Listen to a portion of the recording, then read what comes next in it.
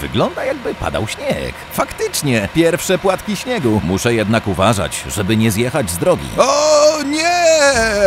No nie! Oj! Oj! Och, nie! Wjechałem w płot i zaraz zjadę w dół. Muszę natychmiast zadzwonić do strażaka sama. Elvis? Zrozumiałem. Zaraz tam będę. Zachowaj spokój.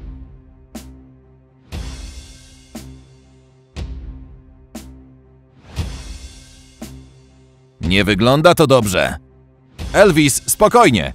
Najlepiej nie ruszaj się wcale. Zaczepię cię do wciągarki Phoenix i spróbuję cię wyciągnąć.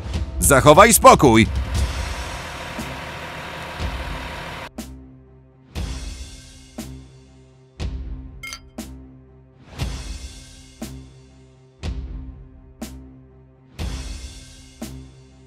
Dzięki, sam. Byłem przerażony. Jeszcze chwila i zjechałbym na sam dół. Nie musisz mi dziękować. To zasługa Feniksa. To niesamowity pojazd, choć Jupiter też wydaje się być w porządku. Mogło być gorzej.